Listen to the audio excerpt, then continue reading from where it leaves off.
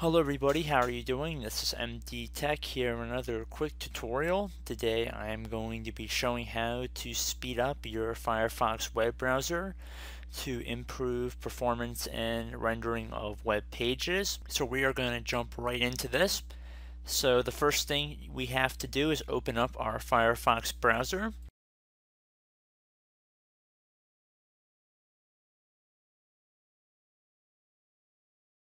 So then in the URL bar, type in about colon config.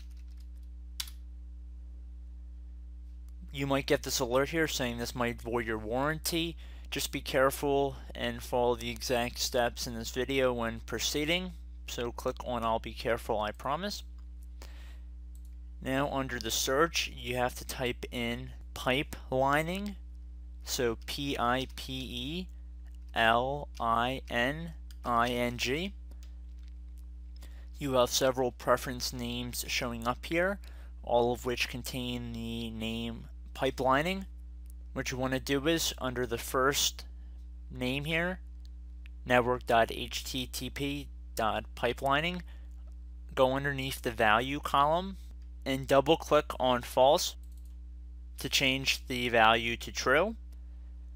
Do the same for the last two preference names here. So go underneath value, double click on false to change it to true. Double click on the last one and change it to true as well.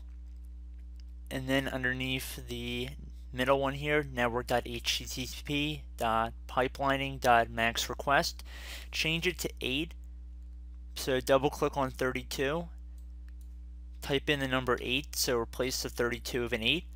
Click on OK and then at this point you can close out of your browser and reopen it and it should open up a lot quicker. So I hope this tutorial helped you guys out and I will see you in the next video.